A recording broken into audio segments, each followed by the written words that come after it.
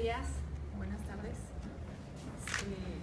Solamente quiero informarles que vamos a seguir trabajando, seguiremos luchando por este gran sueño que tenía mi esposo.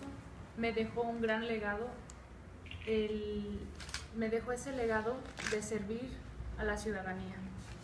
Y continuaré con un excelente equipo que él dejó, porque tenemos un gran equipo y entre todos haremos esa historia que él tanto nos vería. Pues ¿Por qué el cambio sí. de opinión, candidata? Porque originalmente había dicho que no eh, y publicó que, que no era su momento. Mm, en, en ese momento, este, pues por la situación que estaba pasando, eh, me sentía un poco, pues, ya sabes, bajones que. Es todo. ¿Y qué la llevó siempre a decidirse por qué sí? Porque sigo luchando por el proyecto de mi esposo.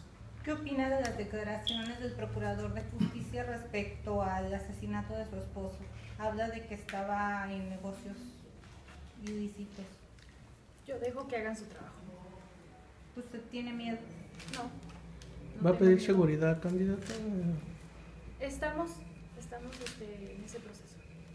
¿Siguen las mismas propuestas? Claro que sí.